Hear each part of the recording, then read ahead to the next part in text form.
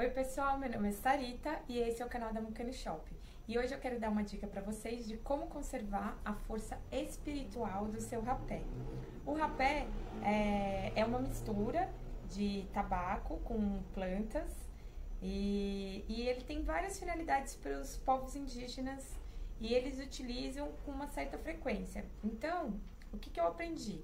Eu aprendi que o rapé ele tem uma força espiritual uma força energética. Então, você deve colocar só o que você vai utilizar na palma da sua mão e você nunca devolve o que está na palma da sua mão é, para dentro do potinho onde você armazena. Pode ser um potinho de plástico, um potinho de bambu, o que for.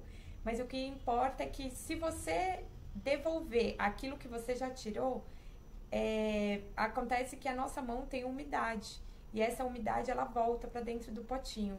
Então, isso não é legal para conservar a energia, aquela força boa do rapé. Então, coloquem na palma da mão só o que vão utilizar.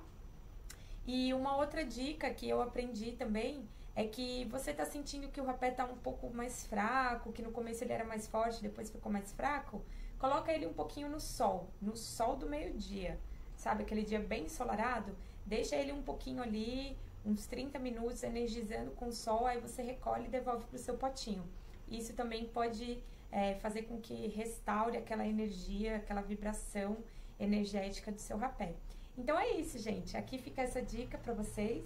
Espero que vocês tenham gostado. Se inscrevam aqui, compartilhem essa notícia, essa dica com seus amigos.